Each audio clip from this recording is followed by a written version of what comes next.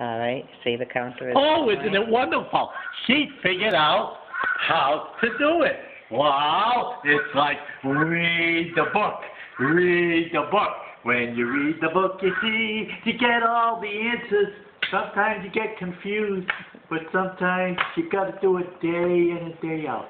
Read the book, even if you read it upside down. Just read it and read it. That's how you get to learn Chinese. You just turn a book upside down, and everything looks Chinese. And a wing wong wong, and a wing whack whack, and a wing talk cock cock cock.